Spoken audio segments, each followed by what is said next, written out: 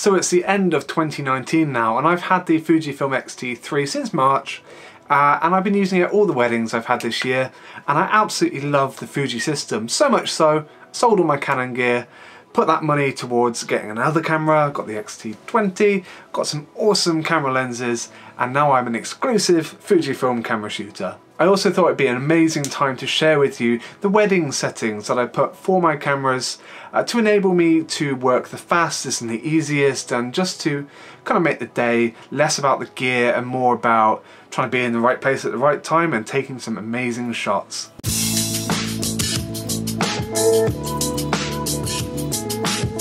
The first thing that I would recommend to every wedding photographer shooting Fujifilm, get the 56mm 1.2, this old thing here. This is an amazingly beefy looking uh, camera lens. It goes down to f1.2. Gives you that amazing separation in the background, some bokeh if you wish.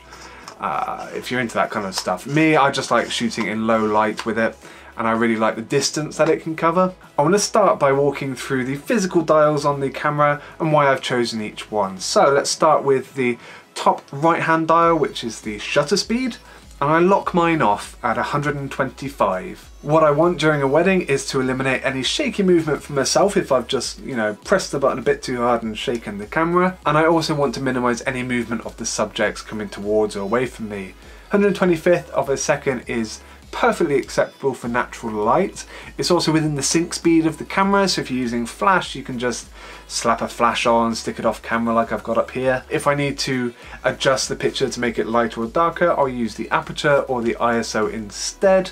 The X-T3's got an amazing ISO range, so I can use that instead of worrying about my shutter speed. On the left-hand dial, on the other side of the uh, prism, pr prism? Not really sure what's in there, it's not prism, it's a little screen, TV screen. Uh, we have the ISO dial, which I don't have locked down and I keep completely flexible. In fact, it's probably my most worked dial on the entire camera because the ISO is the least important thing for me. Uh, for me, what I want to get is I want to get a sharp image, so I want that fast shutter speed. Then I want a shallow depth of field, so I'll modify the aperture accordingly. And then lastly, I'll make it up to be bright or dark enough using that ridiculous ISO on this camera. Uh, so I will happily go up to 6400 or 12800 if I need to. You can always denoise in Lightroom, but you can't unblur or add more depth of field if I need to in post. Moving on to the back of the camera, we go to the D-pad. When I press up, I want to have the autofocus modes.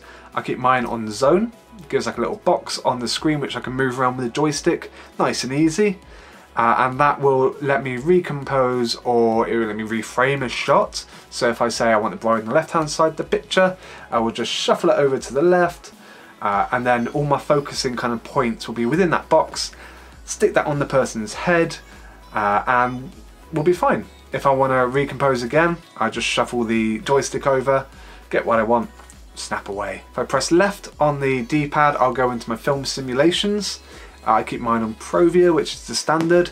Just good for skin tones, you know, you're shooting in RAW hopefully at this point, so I wouldn't really worry about that one. On the right hand side, I'll go into white balance and I'll always have it on the K for Kelvin, whoever that may be, and 5600 on the numbers.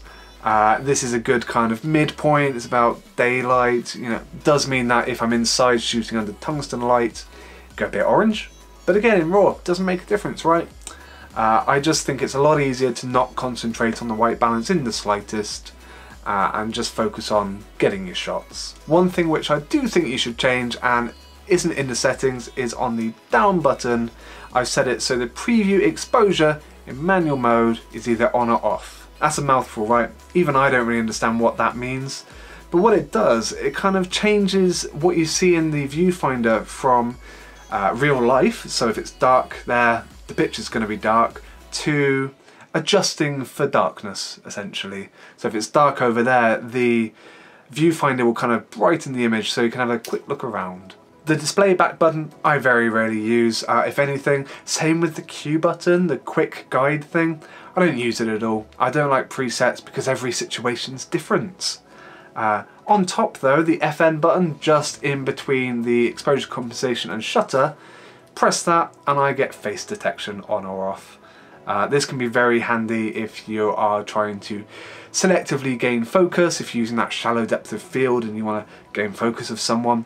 But be careful though if you're shooting in crowds because it may focus on the wrong person. If you're shooting with more than one or two people, uh, I would turn it off. If you're shooting just portraits or just a couple of people, like a couple, um, keep it on and it may assist you uh, nailing that focus. And on the very front of the camera we have the MCS, which is the manual, continuous and single shot. Most of the day I'll have it on S for single shots. Sometimes I'll put it into C if I've got someone moving towards me. Say if they are coming down the aisle and they're constantly moving, stick it on C. You can have, kind of half press the uh, shutter button and it will just keep refocusing on whoever's coming towards you. One of the biggest changes that I make is the front aperture dial, the one on the camera lens, the one that everyone claims is amazingly great. I set to A for automatic and I set it so that the front dial here, the one just in front of the shutter button, controls the aperture. Uh, you may be thinking, Jon, what are you doing? You've got an amazing dial and five minutes ago you just told me how much you love dials and the reason why you bought a Fuji was because you love dials, and I do. On certain camera lenses, like the kit lens, the 18 to 55, it doesn't have hard stops, so you can't twist and then it stops. It, it keeps on going. It's indefinite, it's like an electronically uh, controlled one. And what I don't want to do is during a wedding I'm holding the camera like this and I'm refocusing or I'm zooming out with the 18 to 55 and I accidentally with my massive thumbs uh, change the aperture at the same time. And just look at the difference between 1.2 and 1.4. It's one click. That's it. To 1.4. Like just one little nudge would change my settings completely. So I'd rather have it up here. I'd rather have it up here any day of the week. To get to those specific functions, there's a couple of shortcuts within the camera. Uh, if you hold down display back button on the very back for a couple of seconds, it will give you the ability to remap all of the buttons. So this is where I remapped the down on the D-pad. To remap what happens when you put the camera in auto though, you have to go into the command dials. It's a bit of a hassle, but in the menu system, uh, we've got to go all the way down to the setup, we've got to go to the button dial settings, we've got to find the command dial settings, uh, and then we set the front one to F and the back one to SS. You've then got to scroll all the way down to the third page which says aperture ring setting A uh, and change that from auto to command. So this means whenever you flick the aperture dial all the way around to A, instead of it saying, okay, you're on auto, what I'm going to do for you now is predict for you and tell you what aperture you should need. No, it instead goes to command, which means you can control it with that front dial, which is very handy. So one of the most important things you can do on your camera is set a backup, and we can backup inside the camera to the second memory card, which is mind-blowing. When I had the old Canon 6D, you would shoot and you'd shoot and shoot onto one memory card, and then at periodic points of the day you'd pop that card out and put another one in, and at least if the worst happened and one card went down or got stolen, you'd only lose, you know, 500 pictures or something and, uh, you know, a big segment of someone's wedding day would just be gone. Finished. So the X-T3 can shoot one image onto RAW and at the exact same time generate a JPEG copy to go onto the second memory card inside the camera.